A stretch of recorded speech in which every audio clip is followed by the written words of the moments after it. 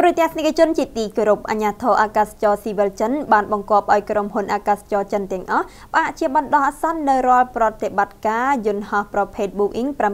737 MAX ការផ្អាកនេះបានធ្វើឡើងបន្ទាប់ពីមនុស្ស157នាក់បានស្លាប់នៅក្នុងសោកនាដកម្មធ្លាក់យន្តហោះ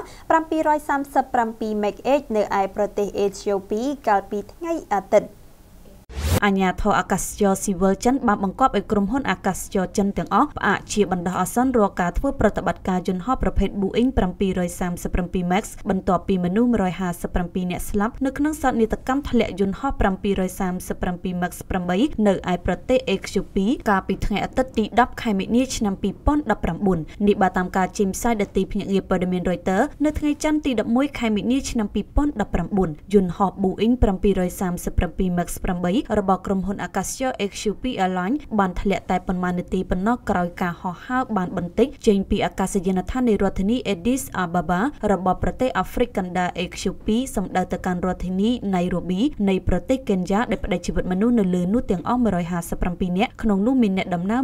149នាក់និងក្រុមអាកាសយានិក8នាក់ដល់ឡែកបើតាមការសន្និដ្ឋានបឋមបញ្ហាបច្ចេកទេសមួយចំនួននៃគ្រឿងម៉ាស៊ីនអាចជាមូលហេតុនៅពីក្រោយសន្និតកម្មធ្លាក់យន្តហោះនេះហើយវាក៏ជាលើកទី2ផងដែរដែលយន្តហោះត្រកូល Boeing 737 MAX បានធ្លាក់ក្រោយយន្តហោះប្រភេទនេះធ្លាក់ចូលសមុទ្រនៅក្នុងប្រទេសឥណ្ឌូនេស៊ីកាលពីខែតុលាឆ្នាំ2018ផ្ដាច់ជីវិតមនុស្សទាំងអស់189នាក់គួរបញ្ជាក់ថាមនុស្សទាំង